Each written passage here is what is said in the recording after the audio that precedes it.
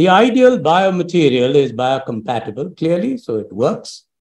Friction resistant, corrosion resistant with good mechanical strength to take the body weight. And here you can see on the right hand side how you have a material which tends to flake off if you use this in your kitchen. And the bearing surfaces are mainly three. We will not discuss the patella. It's the femoral, the polyethylene component, and the tibial component. And of this, the polyethylene component and choosing the right would mean the difference between a long term performance and the premature need for revision surgery. And of this, the implant design and the material properties are something that you can elect to choose Whereas the other things like the processing, the patient, the packaging, sterilization is something that happens directly from the company. The Insall Award paper of 202 talked about why total knee arthroplasties were failing, and this is 20 years ago. And the reason was essentially polyethylene wear. The rest of the things of loosening, instability, infections, etc., were a smaller component of the problem. And why does polyethylene wear happen? There's adhesive wear where the coefficient of friction peels off the polyethylene. There's abrasive wear, which is due to the scratches, and you're very careful when you implant the, uh, the knee in. You make sure there is no third body wear, etc., because that would tend to wear away the polyethylene. And the fatigue wear, clearly, just like a pin, if you break it, to break it, you move it, you get uh, stress and fatigue. That too causes the wear of the polyethylene. The conventional polyethylene you all have used and are aware of. This term, ultra high molecular weight polyethylene, we all are aware of, and your companies offer this. Then you have XLPE, the highly cross linked, and then vitamin E infused. These are the four main ones that I will discuss very briefly. Polyethylene, of course, we've seen from Charnley's time, is excellent, low friction, high impact resistance, self lubricating sur surface, etc. And there's no temperature sensitivity in the human biological environment. The ultra high molecular weight polyethylene is something with molecular weight which is more than 3.1 million grams per mole. It is better, better, better, better. The highly cross linked, and what is the difference here? It was first introduced in the 70s, and there is a 90% decrease in wear rate with increasing of the cross linkage in the molecules of polyethylene. The cross-linking of polyethylene increases the wear resistance, but decreases the mechanical strength. And the ideal one would be that which increases the resistance and the mechanical strength. The newer generations of polyethylene have methods to remove the free radicals without affecting the mechanical strength. They anneal before, below the melting point. They melt it after the irradiation so that it all coheses together and add a free radical scavenger like vitamin E. Is excellent for hips, but hasn't proven to be so good for the knees, which is what we're talking about today. And the primary disadvantage is that the cross link density decreases, and hence it is not as strong as you want it to be. The materials for the femoral component, however, we all are aware of the chromium cobalt, the workhorse, Ceramic. The Japanese use the ceramic. Oxinium, which is available in India, and the coated metals, again available in India. And the cobalt chromium continues to be the most widely used. There's mechanical wear, corrosion, allergy, and is it a carcinogen? Probably little highly overstated because we've used this for years.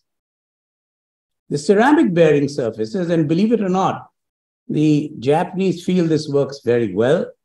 There's good wear resistance, but there would be brittleness. And if you tap this too hard, would it break? Well, it's a configuration like this, it might, though in the hip it works extremely well because it is enclosed. And the Japanese, as I said, have described this and feel that it works. In 223 total knees with ceramic femoral components, survivorship at six years was considered very good.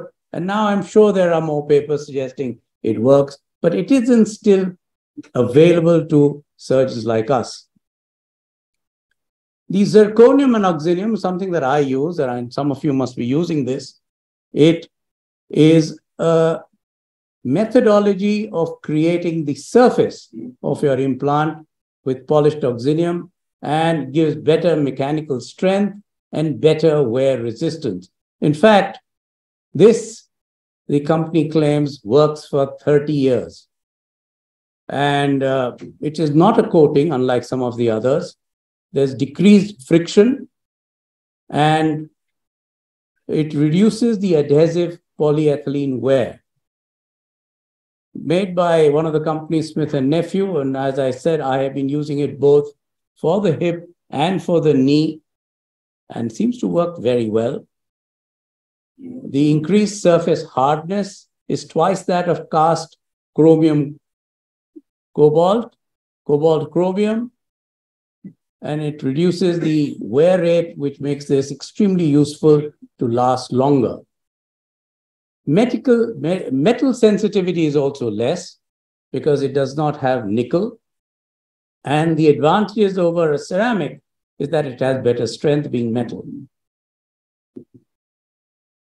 This shows how oxinium is better than the cobalt chrome in hips. And their published data has shown that 15 million cycles, which is a cycle for a year, 45 million cycles is how much this would last used against a polyethylene. The 30 year simulation results have been well published and demonstrably this should work better, but we'll come to this. And clinical data, right, likewise, is excellent. The Coefficient of friction, as I said, is less. The abrasive wear is better. And the fatigue cycle permits this to be used for a longer period of time. Companies also have what they call the gold knee. This is multiple layers of layers applied on the knee. The femoral component and the tibial component are made with this material.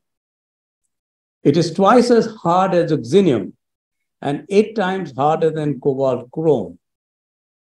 It reduces the abrasive PE wear, therefore, and the wetting angle is improved by 20%. The allergy prevention here is more, they claim, because the tibia also is made of the same material. However, the tibia is not an articulating surface, so it is debatable whether this is really a great advantage. It has outstanding biocompatibility and as I said, is allergy preventive, higher wettability with synovial fluid, and low friction, etc., which makes this a very good implant. The clinical data, which has been presented by papers which have come from the company, suggests that 90% survival is very good.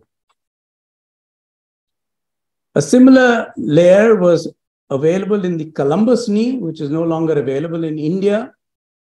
And these seven layers likewise made this a highly useful knee.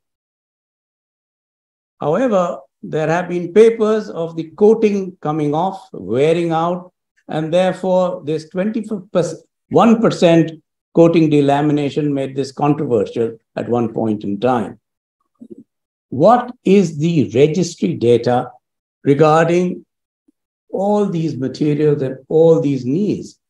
there is no difference in revision rate between coated and uncoated implants. There's no difference in revision rate between different types of coating. In fact, this is a knee that I put in about 18 years ago.